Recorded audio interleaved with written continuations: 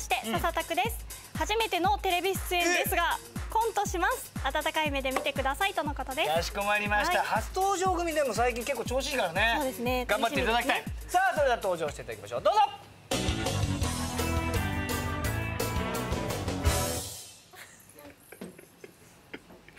あれ？こんなところに占い屋さんできたちょっと入ってみよう。すいません。あらいらっしゃい。待ってたわよ待って。た怪しいな。大丈夫かなちょっと。だ座ってちょうだい。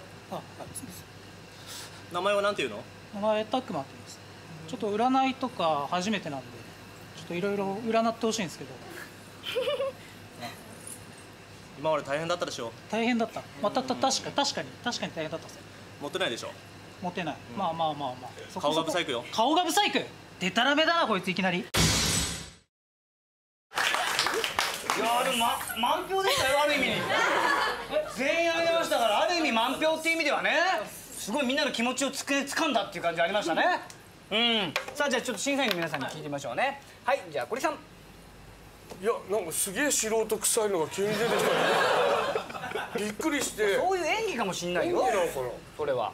いや衣装とかしっかりしてていいなと思ったんですけど、素人臭いなと思って。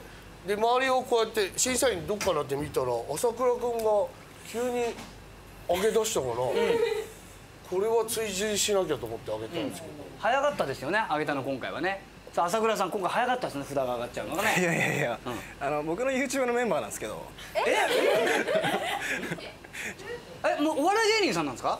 そう最近はお笑いを始めたえちょっと待って全然意味がわかんない。どういうこと？えどういうこと？これ YouTube でしょ？撮ってるでしょ YouTube これ YouTube 撮ってんの？皆様ごきげんよう。えー、マジ YouTube 出れてるってこと？えー、頑張る。めっちゃ頑張るじゃああ本当ですか？あはじめまして一緒一緒にやられてるんですかいつも？そうですね。一応メンバーですけど、まあ、急に出てきたんでちょっとびっくりしました。いやだって最初ねすごい笑ってたの。で初めて今日一番笑ったのね。え何？どれどれ？どのどこどこが面白いんだろうって確認しちゃったもんどの辺どの辺と思って笑ったらバカすんなよ。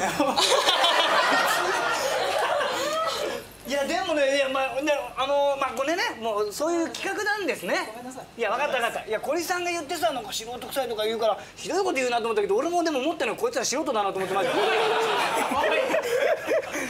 あそういうことそのためにネタを作って。さっきも必死でも汗バーバーかいて。あそうなんだ。うわあ知らなかった。そういうことなんだ。大丈夫かな？素人臭いとか言って、そういうのはね炎上するんじゃないですか？あ大丈夫です。あのこっちのチャンネル来ていただいて、あのボッコボコにするんで。ボコボコにする配信系の方々なんです。あちょ全員格闘家ですあわあすごい。俺僕も一応柔道。柔道。これは強いわ。もうミクロさん的に OK なんですかこれは？うーんどうなんですかね。僕の反応を見るみたいな感じでしょ？ああそういうことか。お疲れ様ですてってれキモマジで。ー いやお前たちの見て他の芸人さんの素晴らしさを知ったわ。じゃあ俺 俺俺俺俺僕らもやって気気づいた本当に。難しいよね。けど大変。マジで大変だ。でもよくやったと思うよ。え度胸あるマジでみんな。しかもあのかぶってたしね道着が かぶってるあの。そうそうそう。